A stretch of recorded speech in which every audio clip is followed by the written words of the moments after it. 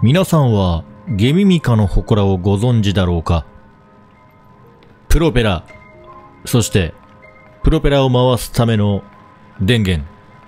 こちらが備えられている。そして、この電源。スクラビルドすることができる。そして、プロペラもスクラビルドすることができる。さらに、この電池。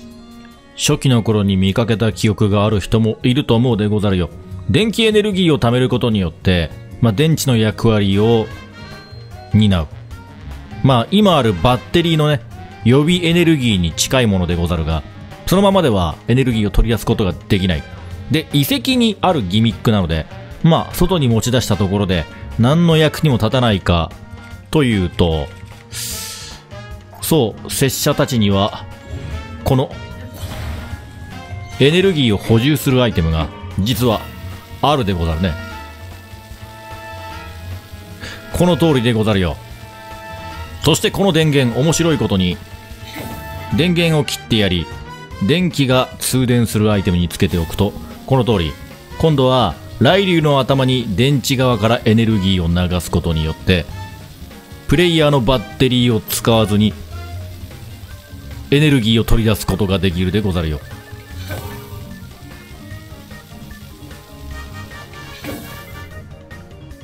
若干ね、ラグがあるでござるな。ティアキンの本当によくでき、まあ、これ余談でござるけども、よくできてるなと思うのは、まあ、炎とか氷とかね、電気っていうのは、この通り、お、ちょっと距離がずれたでござるな。近づけただけで反応が起きるんでござるね。まあ、これはちょっとね、今回はあんまり関係ないかもしれんでござるが、まあ、ビルダーの諸君は覚えておくといいでござるよ。で、電池からはこの通り鉄製品に近づけるだけで、当然スクラビルドさせても、エネルギーを取り出すことができるでござるよ。さあ、説明ばかりもなんなのでね、実験組んでござるよ。で、先ほどのね、電池は根底部分についてるでござるね。で、このゲミミカの遺跡に行ってない人のために説明すると、これ、この電源でござるな。上が電源で下がプロペラでござる。冒頭部分でスクラビルドしてるの見てると思うでござるけども、まあ、プロペラもね、かなり特殊なスクラビルドで面白いんだけども、より覚えておいてほしいのが、もうぶっちゃけ、あれでござるよ。隠しゾナウギアと言ってもいい。この電源でござるね。これ、雷流の頭等々で電気を流すことによって、今この接着されてる部分でござるな。ここが高速回転するんでござる。今回はプロペラのために使っているけども、プロペラに使わなくても、全然他のギミックでも遊べるんでね、これは覚えといた方がいいと思うでござるよ。さて、果たしてこいつは飛べるのかっていう実験でござるな。このね、先の電源の説明したけど、プロペラはかなり特殊で、あの、羽の向きが一応こういう感じであるんで、まあ、この羽の向きに合わせて風が出るのかなと思ったら、どうやらね、この電源部分がついている逆方向に風が吹くっていう仕様なので、電源の上部につけることができなかったでござるな。なんでこの形になってるでござるよ。さあ、行ってみようか。ドゥン。はい、もう、なんかちょっと挙動怪しいけども、完璧に飛んでるでござるな。これはすごい。そして、見ていただきたいのが、これでござるな。これたくさん上昇していくでござるね。まあ、ぶっちゃけ拙者ちょっと、あの、電源が、拙者のバッテリーが非常に多いゆえ、ちょっと時間がかかってしまうんだけども、ある程度高さを保持していくでござるよ。これ実は拙者まだね、実験したいんだよね。何を実験するかっていうと、これ、電気が流れることによって足場として組んでいた電池に、この通り、電気が溜まってるでござろう。ってことは、この状態で電池が切れたら、あ、電池ない、バッテリーが切れたら、自動で向こうの電源に切り替わるんでござるよ。で、その間に、拙者のバッテリーは回復するんでござるね。ってことは、永久期間が完成してしまうかもしれん。ということで、ちょっと、手を離してもいいんだけども、そうすると永久期間かどうかわからないので、とりあえず手を、この操縦桿握ったまま、えっ、と、時間を置いて、切れる直前で、また移していこうと思うでござるよ。さて間もなくといったところで簡単に説明しちゃうとこいつの燃費って実はすごいんでござるよ。なぜかというとこのプロペラ風力は出てるけども扇風機のように拙者のバッテリーを消費していないでござるね。で恐ろしいことに雷竜の頭があれば、まあ、でかくて使いにくいけどね。雷竜の頭があればこの扇風機は4つにしようが6個にしようがバッテリーの使用量変わらんでござるよ。でも風力は4倍6倍と増えていくっていうね。ぶっちゃけ、まあ、その時点で永久期間完成してるんじゃねって思うけども。さああと1列でござるな。ちょっとここは拙者も緊張の一瞬。結構長いラグが起きてからあの電池に電流が流れるのでてか電池の電流がこちらに流れるんで、まあ、それまでにバランスを崩して拙者が落っこってしまう可能性もあるっちゃあるでござるな、まあ、そこに関してはなこれしばらく落下するとリンク外れちゃうのはな。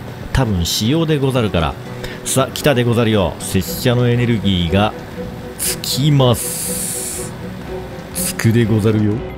うわーどうだいけるか？おまっすぐ落ちてるまっすぐ落ちてる。そしてああなんで？まっすぐ落ちてる。そしてああなんで？まっすぐ落ちてる。そしてああなんで？なんで？何が起きた？逆向きになって超高速で落下していきます。何が起きたんでしょうか？拙者の永久期間の夢がでも発動までは行ったでござるな。バランスの問題か？うわー電池も切れてしまった。本来だったらここで拙者からまたバッテリーがねかのプロペラに回るとこだったんだけども。すごい勢いで落っこっていく。大丈夫か？大丈夫かない？ぶっ壊れてしまった。水に落っこったことの後を考えていなかったでござる。乗れんでござるよ。ああ危ねよしよしよし。ダメだ。やばいやばいやばいやばい。電池が逆流する。痛い痛い痛い痛い痛い痛い。回収不可能になったでござるよ。あこれで回収できるか。いやでも水の中で起動したらやっぱり結局拙者電気で痺れるでござるな。まあちょっと空中はまだね、実験がもろもろ足りなかったでござるな。まあコメント欄にぜひ、なんかこれうまくできたよっていうのがあったら教えていただきたし、さておくとして、一応でも無限機構を試したいので、この通り難易度を下げて、船にしたでござるな。これであれば、まあさっきのようになることもあるまいて、大丈夫か？ちょっと雷竜の角につけたのは無茶だったか？いやー、拙者のちょっと重さのバランスが拙者のセンスが ないでござる。さあちょっと先ほどの場所は結局狭かったんでね。ここでブループリントしたものを使うでござるよ。ブループリントしてもこの特性ってのは失われないんでござる。ただなんか拙者の置き方が悪かったのかね。上の プロペラがいまいち動いたり動かなかったりするでござるな。これなんでござるかね。でエネルギーをガンガン使えるようにね武装もしてきたでござるよ。さあ行ってみよう。あ、引っかかってる？あ、大丈夫大丈夫。いったでござるな。さあ、この雷、電気エネルギーがこのビリビリビリってなってる、これがかっこいいでござるな。もうぶっちゃけ、動力とかはぶっちゃけどうでもよくて どうでもよいことはないよ、それが。この電気で、やっぱそして上のが動いてないでござるね。しかもあれでござるな。敵が、敵がいないと、この拙者のレーザー兵器がエネルギーを食ってくれんでござるよ。さあ、さあ、見るでござる。この最新科学の力で作られたこのエネルギー兵器。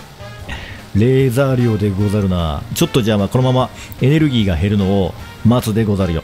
で、エネルギーを全て使った後に、電池からイカダにまた、イカダというかイカ後ろのプロペラにエネルギーが回って、で、それも切れた後に回復した拙者の電源、バッテリーが使われれば成功ってことでござるな。上のプロペラやっぱなんかギリギリ引っかかってたんでござるな。見えない壁にぶつかった衝撃で動き出したでござるよ。ただこのプロペラ一定速度の回転量が得られないと風圧が出ないんでござるね。これ一つまた大きい発見でござるよ。さあ来たでござるよ。来たでござるよ。さあ電源が電源が今の一斉操作で切れます。切れるでござるよ。切れました。そしてしばらく経って拙者の充電が復活。で電池で起動。起動。ちょああ最悪。最悪のタイミングで引っかかったでござるが。見るでござるよ。おお最悪のタイミングで引っかかったでござるが。見るでござるよ。おお見た。